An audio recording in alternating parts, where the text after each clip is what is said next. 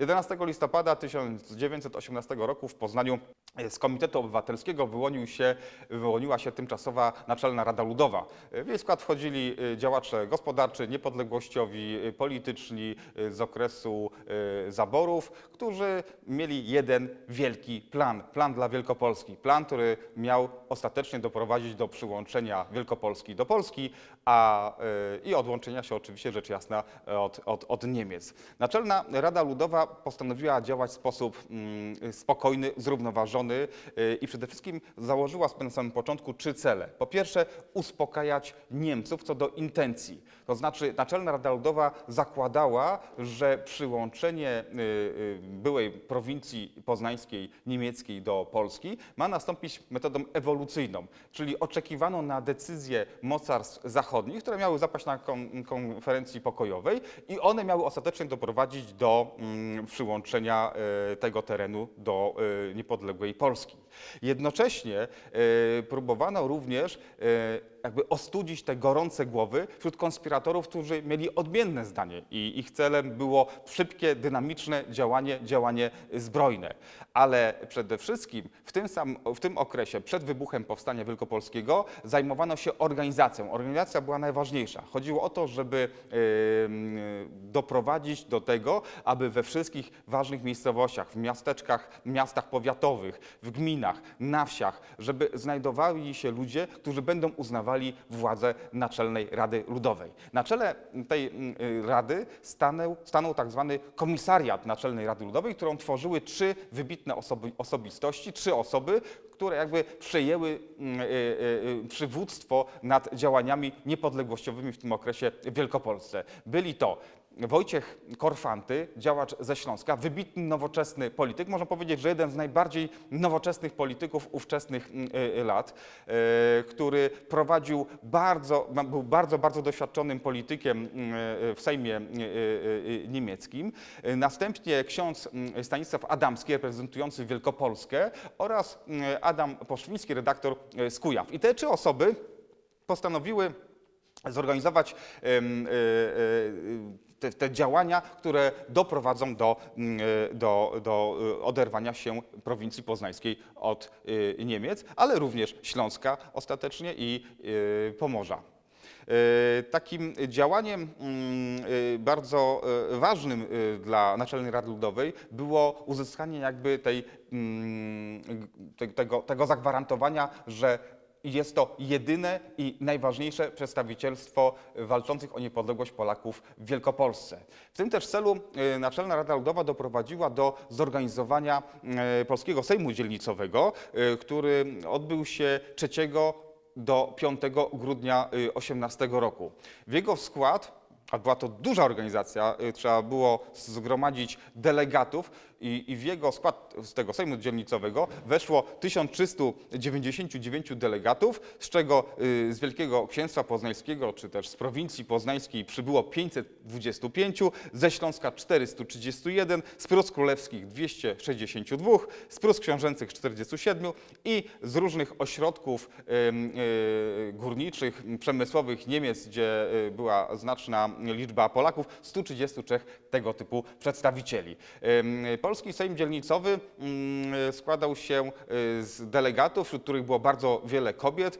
Y, To też było istotne i to też było nowum, pokazywało tą demokratyczne oblicze polskości i był to, mm, była to mm, mm, uroczystość, można powiedzieć, bo w dużym stopniu była to uroczystość, która miała pokazać, że te ziemie, które znajdowały się pod zaborem mm, pruskim, one wciąż były polskie. Tam wciąż biło polskie serce, tam wciąż byli Polacy, którzy myśleli o oderwaniu się od Niemiec i przyłączeniu do Polski. Tak więc nie było to tylko takie przedstawienie Polaków y, mm, y, w zaborze pruskim, bo obejmowało też y, Śląsk. Nie było to mm, pokazanie, że Wielkopolska jest Polska, to było pokazanie, że w państwie niemieckim są bardzo, bardzo poważne, duże obszary, na których żyją Polacy i który, którzy skłaniają się do Polski.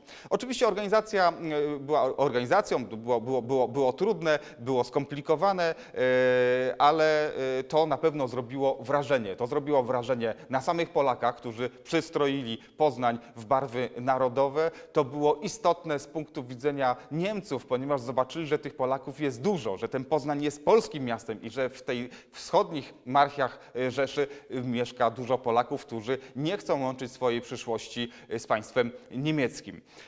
Ale też było to ważne z tego międzynarodowego punktu widzenia. Była to też taka informacja przekazana w świat.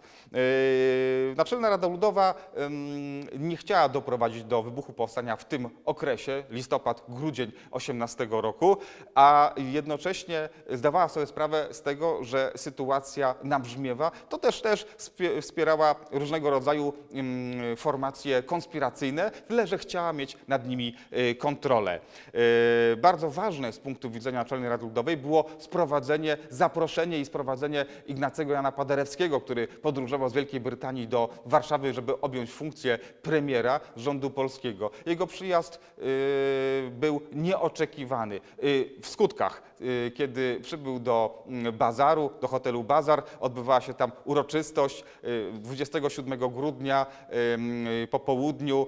y, Nikt nie był na to przygotowany. I nikt nie wiedział tak naprawdę, co się dzieje poza murami bazaru, a tymczasem padły pierwsze strzały. Wtedy doszło do wybuchu mm, walk w mieście i oczywiście doprowadziło to do wybuchu powstania wielkopolskiego. Korfanty na wieś o strzelaninie wyraził się w sposób niezbyt cenzuralny, a opowiedział, że to są ci ludzie, którzy niszczą moją robotę polityczną, bo nie takie były zamiary Naczelnej Rady mm, y, Ludowej i samego Korfantego. Tak więc ten stosunek Korfantego i e, mm, y, Naczelnej Rady Ludowej do powstania w początkowym okresie był bardzo negatywny. 28 grudnia Korfanty zorganizował nawet konferencję w Bazarze, do której zaprosił tych wszystkich e, przywódców różnych autonomicznych organizacji konspiracyjnych, spiskowych, em, militarnych, które brały udział w walkach e, o miasto. E, Celem tego spotkania było wygaszenie, e, wygaszenie pows- pows- powstania. E, Pierwszą rzeczą, którą robił Korfanty, to było powiadomienie Berlina, że wszystko jest pod kontrolą, że był to przypadek. Prasa poznańska 28 grudnia opisywała, jak to napisali, pożałowania godne wypadki. Nie było informacji o wybuchu powstania. Nikt tego nie ogłaszał. Y, Sytuacja wymykała się spod kontroli, natomiast Naczelna Rada Ludowa prowadziła swoją własną politykę w stosunku do Niemców, ułagodzenia y, Berlina i jednocześnie y, Naczelna Rada próbowała mm, położyć rękę na, na tych działaniach zbrojnych.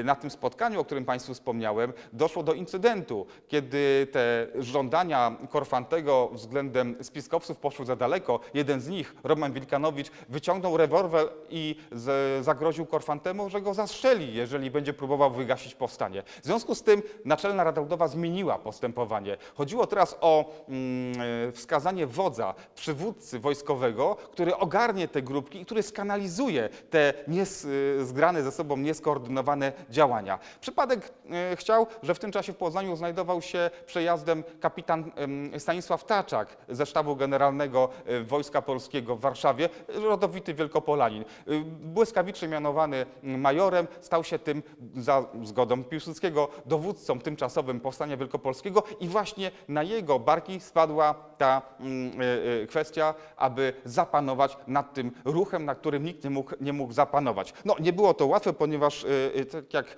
wiadomo, Powstanie Wielkopolskie w tym okresie to szereg pojedynczych e, formacji na terenie całej Wielkopolski, działających w sposób bardzo autonomiczny i mniej lub bardziej uznających Naczelną Radę Ludową.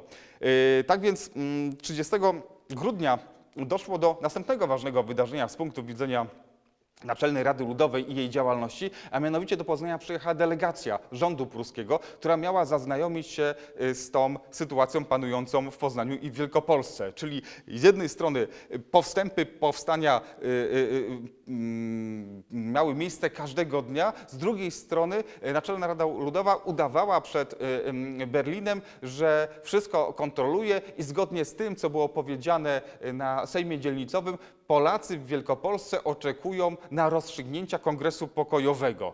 I również Zachód nie był zainteresowany wybuchem powstania wielkopolskiego, ponieważ y, państwa zwycięskiej koalicji dążyły do tego, żeby Polacy uznali, że to oni, czyli Zachód, będzie uznawał i wytyczał granice państwa polskiego. Tak więc tutaj Naczelna Rada Ludowa musiała mm, lawirować i y, z jednej strony y, próbowała okiełznać to powstanie, kontrolować te siły powstańcze, a z drugiej strony cały czas nie było mowy o wybuchu powstania. Na przykład major Taczak, który był tym naczelnym wodzem, po ulicach Poznania chodził y, w ubraniu cywilnym. Dopiero w hotelu Royal, w którym urządził sztab, przebierał się w mundur. Takie to było powstanie i taki ono miało charakter. Y, Tak więc y, po przyjeździe em, 30 grudnia em, niemieckiej delegacji ustalono jedynie jakby protokół rozbieżności, który polegał na tym, że Polacy twierdzili, y, że nic takiego się nie stało i respektujemy fakt, że póki co znajdujemy się w granicach y, państwa niemieckiego.